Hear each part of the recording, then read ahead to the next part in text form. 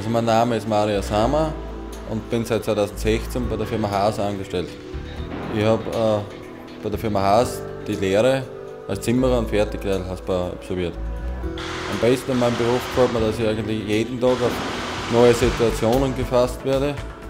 Mein Tagesablauf, also mein Tag beginnt jeden Tag um 4.30 Uhr, fange um 6 Uhr zum Arbeiten an, dann unser Arbeitstag geht von 6 Uhr bis 3 Uhr und um 9 Uhr und um 12 Uhr haben wir Pause. Also die wichtigsten Voraussetzungen ist, dass man schwindelfrei ist, dann die körperlichen Fähigkeiten und äh, das mathematische Wissen. Meine größte Herausforderung ist, dass man jeden Tag auf neue Situationen eingehen muss.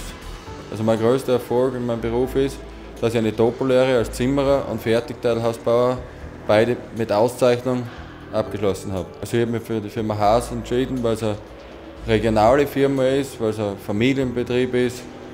Ja, und es ist eine sehr bekannte Firma in meiner Heimatsumgebung. Also mir macht es eigentlich Spaß, jeden Tag in die Firma zu gehen.